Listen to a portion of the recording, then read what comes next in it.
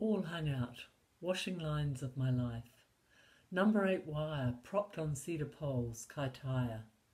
I'm three years old. My job is to take the billy to the letterbox. The big bad wolf lives down our long driveway. My older brother says, Number eight wire again, Howick. We live opposite the cemetery and play among the graves. My brother and I throw red and white toadstools at one another. He says I've poisoned him. 1950s Hills Hoist, Mission Bay. Our father gives my brother and me air rifles for Christmas. Our first targets are each other, the washing line between us. 1960s Hills Hoist, Grafton.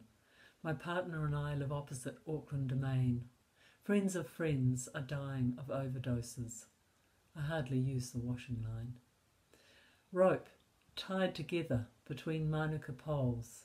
Schooner Bay. A snapshot shows us holding our six month old son under a line of billowing nappies. We look like starstruck teenagers. Berkeley, San Francisco. No one uses a washing line in California, except the 75 year old next door. His 101 year old mother taught him to try his whites in the fresh air and sunshine. Number eight wire between posts, tapu. Our two year old daughter with my heels and her sunglasses to help hang out the washing. Even now, she's never without accessories. Fold out line, Mount Eden.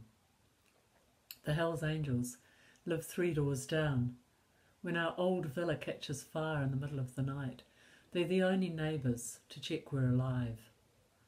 1970s Hills Hoist, Parua Bay. It's cemented in so well we haven't replaced it. The ghosts of the people who built the house hang out there. There's longing in their eyes as it turns.